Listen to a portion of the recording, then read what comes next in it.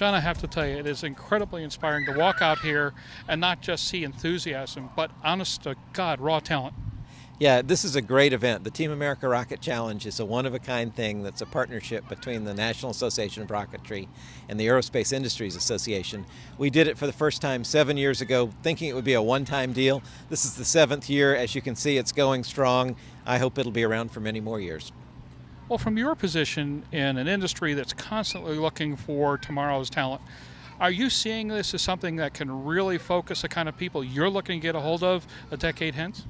Absolutely, Jim. I think this is the kind of event that's aimed at getting kids excited and getting entrained in science and math. You know, the, the high school years are really formative. As you look back at it, you realize how formative it is, and a lot of important decisions get made without kids even realizing they're making those decisions, right? And so the idea here is to is to cast the net very broadly, get as many kids entrained and thinking about engineering kids who, who might not necessarily do that. There's obviously a lot of competing things to do these days when you're growing up. Um, but this is a way of trying to get people to sort of try out the engineering and hopefully stay with it for the long term. What advice would you give a young man or a young woman who's out here figuring out how to make sure that their rocket goes 825 feet high and stays in the air so long and doesn't make an omelet at the end? I mean, there's just these great challenges and there's some tremendous engineering exercises, but you've certainly made your nut in the world. You, you know where you are in all this, and you're the guy who's going to be hiring them in the future. What advice do you have for them right now? Well, I think the biggest advice is is is sort of uh, you know figure out what you like to do and then figure out how to get paid for it. And this is a great way to take something that's a lot of fun on the surface, but has a lot of substance, many layers as you go deeper and deeper into it, and can lead to a really important career. A lot of the folks out here who are organizing it and running it came up through these types of events. This is probably a little more elaborate, a little more formal than we had growing up, but uh, you know we're looking to to share that uh, mentorship and get, get people entrained in the industry as, and the hobby both. Now, another moment of freedom from Cirrus Aircraft. Freedom through safety. Perhaps the ultimate freedom is confidence, assurance, and peace of mind. We design it into every personal aircraft we build. It's the security that comes with knowing you're flying the plane with a parachute the breakthrough concept that launched the Cirrus phenomenon. What are you seeing here in regards to the, the tasks that have been set uh, set forth here? Is this uh, is this the kind of problem solving that really leads to the uh, defining of a role that somebody's going to use to define their career?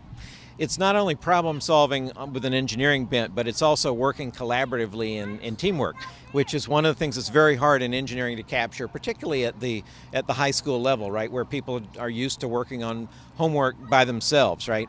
As you the older you get, the further you get into this, you realize that no big aerospace activity is an individual activity. It's all it's hugely collaborative.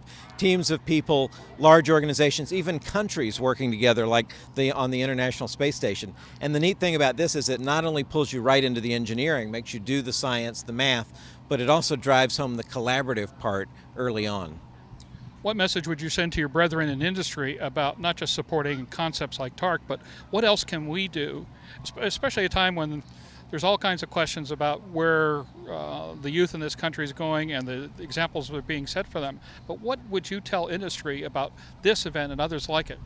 Well, I think this type of event where industry really reaches out in a collaborative fashion, and again, this is the professional side, the industry, and the aerospace Industries Association, and a very focused uh, hobby side, uh, the National Association of Rocketry. Those kinds of collaborations are very, very productive and can really open doors for everybody. It's a true win-win uh, opportunity. One of the other things that's been very impressive is I've, I've watched. There was this marvelous team this morning that had two misfires, yeah. finally got it out on their third, and and pulled off a great flight. Yeah. But watching their mentor, a fellow uh, from from NAR, being very patient yes. and being very encouraging, but all the NAR people here are just blowing my mind in regards to the way that they're handling this.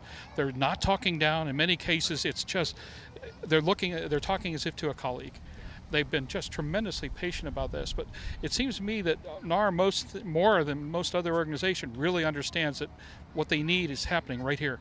That is one of the really unusual things about the the uh, model rocketry as a hobby is that it is something where people of many different ages actually can collaborate as peers. It's it's very remarkable. I haven't seen many things like it during my lifetime. Literally, you have families out there, and it's not the generational divide. People really are working together as peers. There's also a big mentorship part in this. Most of the people out here had one or more people that mentored them along, whether they were teachers, they were people they met in the hobby, they were people who met in, in school, who made a real difference to them. And all of these people recognize that and look at this as a way to, it's called paying forward. You can't really ever pay back, but it's uh, paying forward is a big concept for a lot of the people involved in this. If you own a Cirrus today or if you are considering the purchase of a new or used aircraft, consider this. Avidyne, in conjunction with the country's leading Cirrus sales and maintenance facilities, has launched the G3R9 program that combines the purchase of a late model, low time Cirrus aircraft and the addition of the Avidyne Entegra Release 9 avionics suite for much less than you may have thought, and certainly much less than purchasing a brand new aircraft. G3R9, combining the best airframe, best engine, and best avionics for the best value. I'd imagine you're walking around at this point and probably ready to start taking some resumes off of some of these kids. Uh, these, it's a fantastic group of kids. It really gives you a lot of faith in the future of the country to have this kind of talent out here and interested and focused. And you know we have to work together to make sure all that energy gets channeled in the right directions and keeps America at the forefront in uh, in aerospace. That's a lot of what this is is how we stay at the in a leadership position.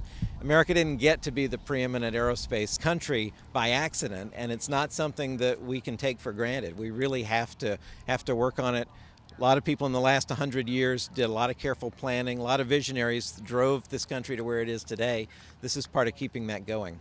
And I really want them to see the passion that's right out here in these fields right now. Yeah, yeah I'm glad you're here. You got to see it to believe it. So. Really, no question about it. Final question. Sure. What would you like to see for TARC from here on out? Well, you know, I mentioned that Seven years ago, when TARC started, it was viewed as let's try this as a one time thing. It's been so successful that it's now in its seventh year. Uh, we'd like to see it continue. We'd like to see it expand. There's in the last couple of years, it's there have started to be international versions of that, and this summer there'll be teams from France and from England competing against the winners of the American competition. So, you know, a lot of this you kind of follow what works and do more of it. Keep expanding that. Um, there's a lot of uh, a lot of potential still in this. Well, sir, we thank you for supporting this community so well, and we look forward to seeing you in future TARCs. Thanks for coming out, Jim, and we appreciate your support and coverage of it. So, well, from here on out, I wouldn't miss this. Yeah. Great, good. We'll see you next.